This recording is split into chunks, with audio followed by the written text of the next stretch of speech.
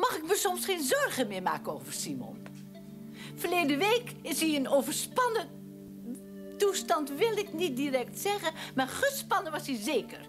Toen hij zonder iets te zeggen en zonder ontbijt zomaar ineens vertrok. Nel, dat Simon en ik elkaar een tijdje niet zouden zien, was niet mijn idee. Dus jij weet ook niet waar hij is.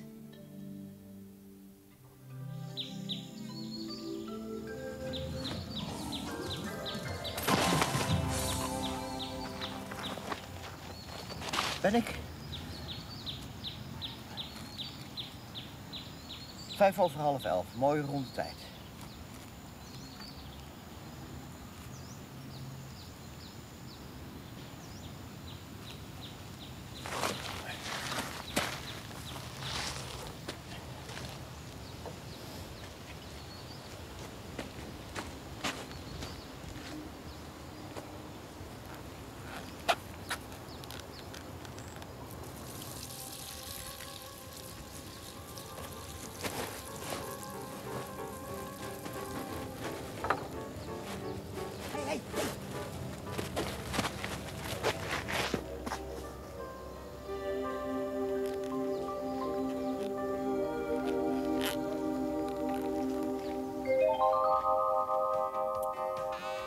Ja, ja, ja, ja, ja, ja, ja, ja, ja, ja, ja, ja, ja. Nee, blijven noodoplossingen. Mag natuurlijk niet zo denken, maar die brandstichting in ons huis heeft me wel op een idee gebracht. Zeg, Govert, compagnon. Ik zit op de wc en daar schiet me toch iets te binnen. Oh ja? Dat is geloof ik toch juist niet de bedoeling van wc-bezoek? Meneer Borren, hier is... Kom maar tevoorschijn, ouwe zwendelaar. hij had er al lang moeten hebben kunnen zullen zijn. Ik ga in ieder geval niet weg. Voordat hij zich hier heeft gemeld. Oplichtersbedrijf Borren, pas op uw woorden. Waarna u waar u bij staat. Notariskantoor in Borren, u specialist in privaatrecht, registratie, notariaat, financieel beheer. Willeke van Keppelzode, goedemorgen. Ah, Zeg, wat hoorde ik nou toch? Wat u nou toch hoorde? U bedoelt, heeft een nieuwtje. Wie was die mannenstem? Mannenstem? Eh, zekere storing op de lijn. Een fikse storing op de lijn Henk Born Paul Mastenbroek. Hier zit jullie kink in de kabel.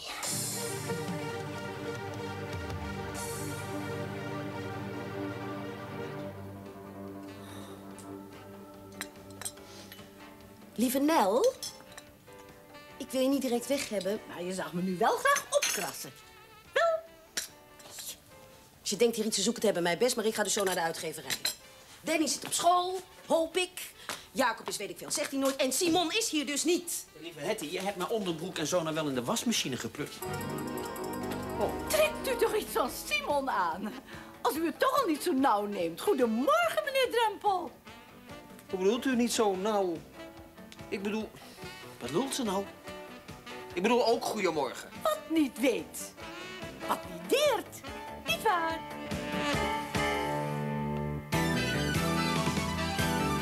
We zijn weer thuis. We zijn weer thuis. We zijn weer thuis.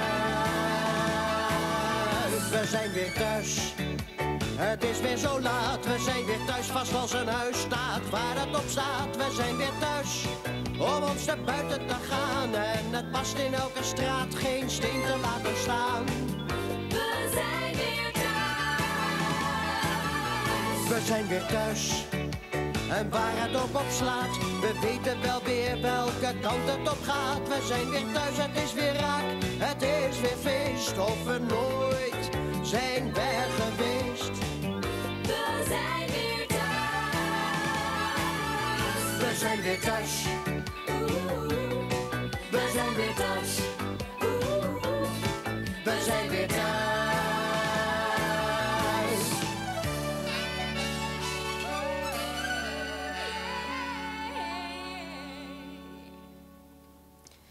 Nel, het is niet wat je denkt. Waarom denk je dat ik zou denken dat jouw behulpzaamheid die verder zou reiken dan het lenigen van zijn woningnood? Alleen maar omdat je even vergeten was dat hij hier logeert... totdat hij zich geheel ontspannen in zijn blootje aan het ontbijt komt melden. Nel! Als jij zo'n dringende behoefte hebt om iets tot je door te laten dringen... Je moet zelf maar weten wat je ervan denken wil. Laat ik je dan dit zeggen. Als je hitsige bolletje dat tenminste nog kan bevatten. Als... Het ligt voor de hand om Simons tekortkoming alleen Simon aan te rekenen. Als jij per se zo expliciet wil worden, ik sta open voor al zijn wensen. Ik ben het geheel niet uit op het aanhoren van enige gedetailleerde beschrijving van jullie gang van zaken in deze. Maar ik waag de veronderstelling dat Simons door jullie beiden zo betreurde falen misschien voor een gedeelte toch ook op jouw konto geschreven kan worden. It takes two to make a dream come true, om het zo maar eens te zeggen. Ja, en laat dat dus maar aan Simon en mij over. We can work it out. La la la, la la la la, you'll have to go. Wacht nog even. Lieve Hetty, ik ben je zeer erkentelijk voor het mij spontaan geboden onderdak. Floris, zou jij haar willen vertellen dat je vanwege huurproblemen van de een op de andere dag op straat werd gezet en dat je hier alleen maar gelogeerd hebt? Dat zeg jij toch al? Ik wil het wel beamen, hoor, al zie ik niet direct in dat ik u ook maar ergens enigerlei uitleg over verschuldigd zou Ik zijn. kan toch wel even zeggen dat je hier niet meer gedaan hebt dan slapen? Dan zou ik liegen. Het was zelfs minder dan dat. Ik heb nauwelijks één oog dicht gedaan... vanwege de oorverdovende stilte door die dubbele ramen. Ik ben gewend aan het doordringende kabaal van het bruisende uitgaansleven. De poëzie van de nacht. Even naar de wc. Floris Drempel. Ik heb hem weten te strikken. Door de uitgave van zijn bittere roman De Grote Verrotting... zal het grote publiek dit tot voor kort ongrijpbare genie in de armen sluiten. Waarmee ik, uitgeverij van Rossum, in één klap heb teruggeplaatst op de literaire kaart. Simon zal ook trots op me zijn. Jij had de redder van Albert van Rossums erfenis op een bankje in het plantsoen willen laten slapen? Kom je erbij? Sinds jullie problemen kregen, heb ik Simon met liefde weer bij mij thuis onderdak geboden. Ik had het nu even over Floris. Sorry, het is al later dan ik dacht. En ik heb een afspraak met de AVRO over het schrijven van een hoorspelletje. En ik moet dus als de donder weer een inspirerend, uitgewoond en lekkend zonder verdieping zoeken. Dus, dames, gegroet. Floris, Floris. Hetty, het spijt me als ik te ver ben gegaan in mijn veronderstellingen. Ik wil me er verder ook niet mee bemoeien. Dat doe je anders wel. Omdat ik me zorgen maak over Simon.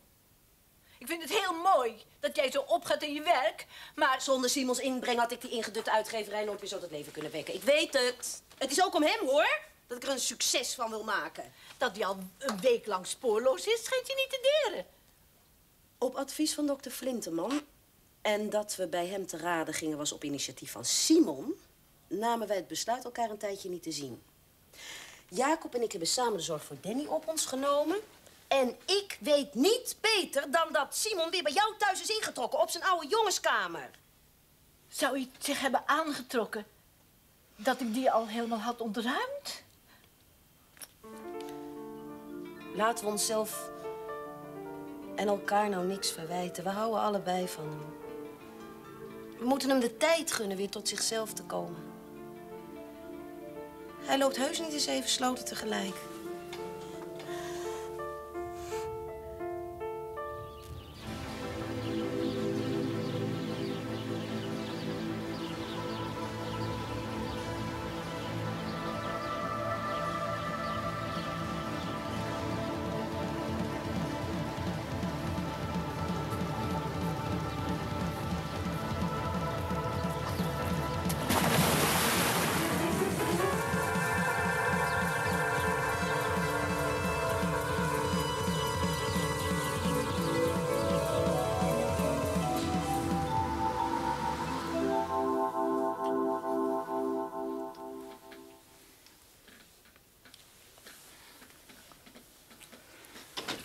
Toch God geklaagd. Alleen maar tijd verdaan bij die megalomane Mastenbroek. Ah, welke? Hier nog wat gebeurd tijdens mijn afwezigheid? Wat is dat met mijn stoel? Die viel. Zomaar, ineens. Nou, ik wilde wat pakken en ik steunde. Symbool voor mijn wankele positie. Voorteken van de totale ineenstorting van alles wat ik hier heb opgebouwd. Wilt u koffie? Drank. Een stevige neut. En een ander zitmeubel. Een stevige stoel. En raad. Goeie raad. Wat ga je nou doen? Ik praat tegen je. Whisky halen en een andere stoel. Oh, nou, schiet op dan. Maar als ik u ook een goede raad mag geven... ik zou niet hier gaan zitten drinken, maar lekker naar huis toe gaan. U heeft de laatste tijd veel te hard gewerkt. Zelf in de nesten, ja. Heeft Thijsje nog contact gezocht? Thijsje? We mogen inderdaad wel eens Thijs gaan zeggen. Zo'n lief smoeltje, maar pas op. Waarop? Bij het zaken doen moet je je nooit laten leiden door emoties. Week gemaakt door waterlanders op dat onschuldige jonge snoetje... moest ik zo nodig de reddende engel spelen. Snikkend van dankbaarheid vloog het joch me om de hals... maar nou heb ik wel Paul Mastenbroek op mijn nek en Thijs. Maar Thijs moet toch ook niks hebben van die Mastenbroek?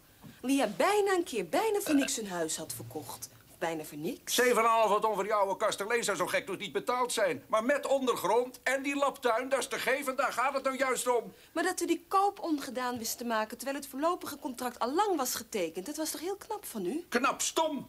Maar anders dan... Anders, anders had Thijsje achteraf gezien aan de standje van zijn moeder gehad. Maar nou moet ik maar zien hoe ik mij ontworstel aan Mastenbroeks wrakzuchtige wurggreep. Wat kan u dan gebeuren? Wat maar kan gebeuren? Gewipt worden door de notariële broederschap, uit mijn ambt gezet in de kamers van toezicht. Had u Thijs dan niet mogen helpen Zo wordt men voor een goede daad gestraft. Mastenbroek wil dat huis en die grond alsnog voor die prijs hebben... anders gaat hij over mij een boekje open doen. Oh? Heb ik nou eindelijk zover dat ze gelooft dat het verstandiger is... dat huis nu voor zes ton van de hand te doen... is Thijs gaan dwars liggen. Lijkt mij eerlijk gezegd nogal logisch. Nou ja, ga jij het een beetje opnemen van die verwende etterbak. Zie!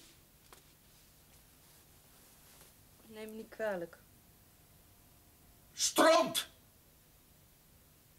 Ik ruik stront. Ik zal toch niet.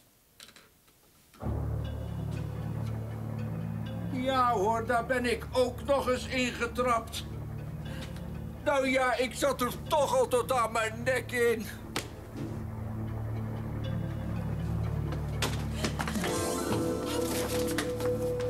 Hemeltje lief. Nou, jij weet ook hoe een onwelgevallige klant partij te geven. Moeder.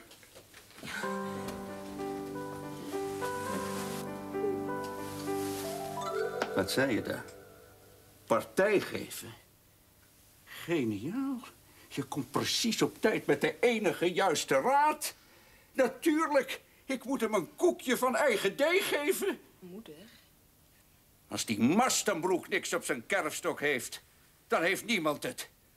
Ik zal die schafuit toch een sigaar uit eigen doos offreren... zo waar ik de zoon van Hendrik de stalmeester ben.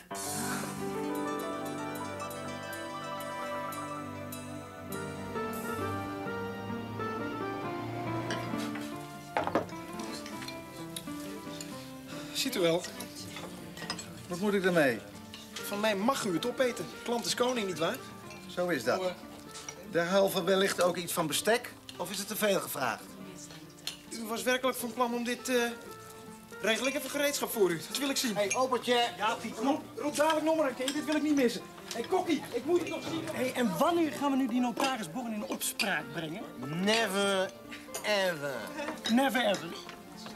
Dus ik heb voor de katse kut zitten spelen. Hé, hé, hé, hé, hé. Kijk, als we willen kunnen we die Henkeborn morgen al naar een andere kantoortoren laten verhuizen. hè? Zo'n wit in de bijlmer. Zo'n stevige, met van die kleine, gezellige, driedubbele raampjes, begrijp je wel. Maar hebben wij daar wat aan? Want die bak in naar de penitentiaire inrichting over Amstel is toch net goed? Voor wie? Voor hem. Lekker.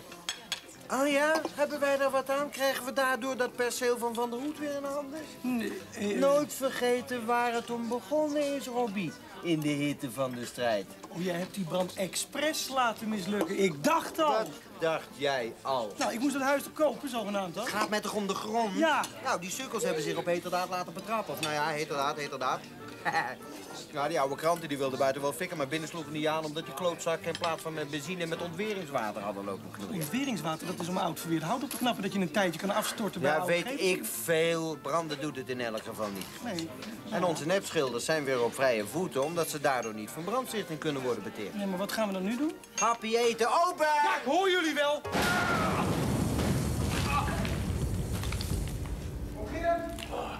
Waar ben je? Hier, stort er zomaar ineens naar beneden.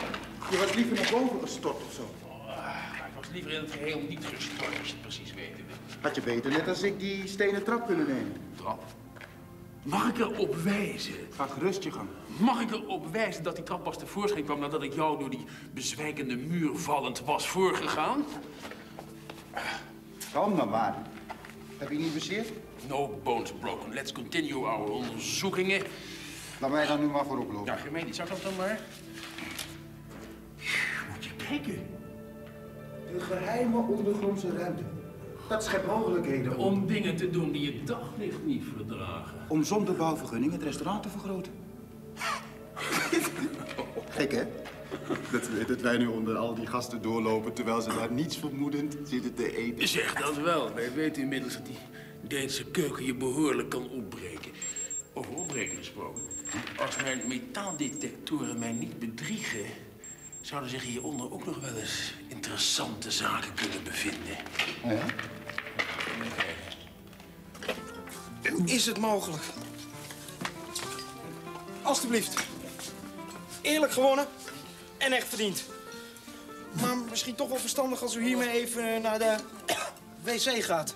Waarom geef jij die klant een fles dure drank cadeau? Promotionele actie, zelf bedacht. Hoor jij eens even? Gaat u anders toch maar even langs de dokter. Of meteen maar naar het ziekenhuis om uw maag leeg te laten pompen. Begrijp je wel? Dan mogen jullie het zeggen. Nee. Nee? Krijg dan godverdomme de kleren. Nee!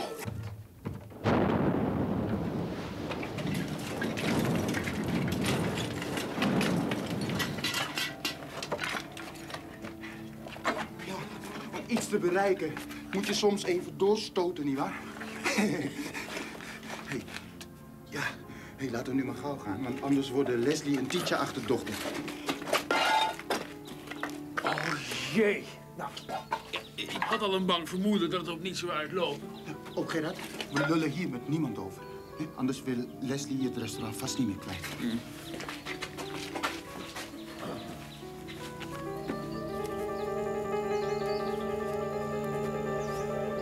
Op niks uitlopen? We zijn uitgekomen in de tuin van de villa naast Boekstoelen. Ja, dat bedoel ik. Ja, luister nou. Als we dat laatste doorgebroken muurtje gewoon weer netjes achter ons dichtmetselen... dan hoeven die buren nooit te weten dat er nog een enorme ruimte ligt achter hun lullige tuinkeldertje. Laten we nou maar gauw teruggaan, anders worden ze achterdochtig. En cement kopen. Cement kopen? Om het aan de andere kant weer dicht te maken. Proberen dat huis te kopen voordat die buren erachter komen lijkt mij zo niet simpeler. Dan toch zeker doeltreffender. Godverdomme, Wat is er? Shit, lijken wel champignons. Ik wilde Henkie Born gewoon een beetje helpen.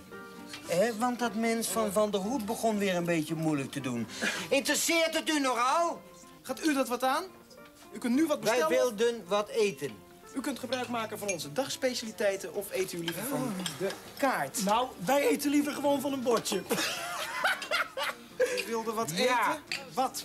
Ja, ober. Wij wilden wat eten. Maar wij hebben ons bedacht. Ho, ho, ho, maar wij wilden nog wel even wat drinken. Doe nog maar cognac. Maar niet van die Hollandse Hollandse bocht. Nou, die moeder die schijnt nogal gehecht aan dat kavalje. Dus dacht ik zo, dat afstand doen van zo'n rokende puinhoop wat makkelijker voor haar zou zijn. Maar goed, vanochtend kreeg ik een uiterst zenuwachtige born op kantoor. En wij wachten nog een weekje met het aandraaien van de duimschroeven. Ik krijg ineens ontzettende zin in een jambiummetje. Ja, ook? Ja.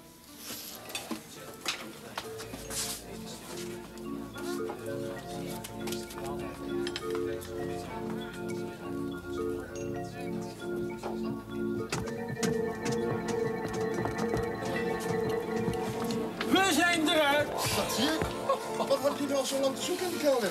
We waren de weg kwijt. Dat kutkeldertje. En je kon niet keren. Als je één fles wijn stuk laat vallen, dan heb je een overstroming. Waarom zou je daar een fles wijn laten stuk vallen? En wat is dat? Een vleermuis? Die doet niets meer hoor. Zeker al een half jaar dood. En het sterft er ook van de champignons. We hebben een gigantisch onderaards gangenstelsel ontdekt. En nu zijn we eruit. Uit de verbouwingsproblematiek. De keuken. Alle technische voorzieningen, de hele mikbak, kunnen we allemaal daar onderbrengen. Waarom zo in We mogen bovengronds nog niet uitbreiden, omdat deze tent als landmark onze nationale monumentenlijst aanvoert. Duiken we nou toch lekker onder. En de financiering kan self-supporting zijn, want uitgerekend hieronder moet die oude Romeinse schatkamer zijn. Wat? Waarnaar ik in de tijd zo'n naastig dochter vergeef zocht. Onder de vloer van mijn toen ontploffende oude huis hier. Maar dankzij mijn onvolprezen uitvinding... Nou, daar nou maar je kop over. Mijn uitvinding is al lang gepatenteerd, hoor. Oh, je bedoelt dat hier die schat ligt verborgen. Zal ik overzwijgen. Als een antiek Romeins graf. Wat zijn jullie hier van plan? Eh, nou, kijk. eh mijn streepjescode is Houd dat alsjeblieft op, Rob. Ja, maar nu we kunnen uitbreiden... No way, forget it. Eh, hoor eens nou eens. Eh, nu ik hier de baas word... Shit, dat is waar ook. Rob! Rob, even op jij. Jij, hier de baas? Een paar weken geleden moest ik deze tent van je overnemen omdat jij terug naar Aruba gaat. Oh, Titia wil dat wij hier blijven en eh, tijdens het vrije heeft ze mij dat haar laten beloven, hè? We nu niet naar Aruba? Oh, Leslie. Kalm even, Tietje. Think of our baby, ja? Oké, brother. If that's the way you want it, dan stampen wij pal hiernaast een gloednieuwe zaak uit de grond.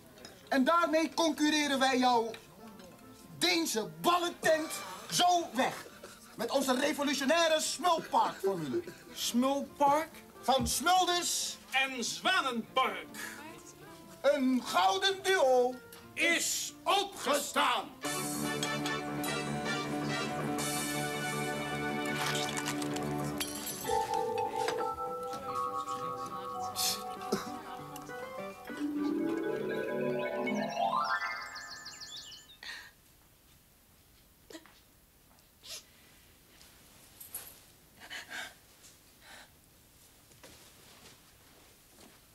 Haal even wat te drinken voor je. Dank je. Mama, ik heb je iets heel belangrijks te vertellen. Jij hier? Wat, wat wil je van me? Wat- je, je ging toch met Wim Kalf trouwen? Dat gaat niet door. Nee? Hij is dood. Oh. Ja? Gisteren, Gisteren nacht. Lagen in elkaars armen. En toen werd hij opeens niet goed. Hij strompelde naar de linnenkast en gaf hij me dit pakje. En toen... Oh, oh, oh, oh. het is voor jou. Oh,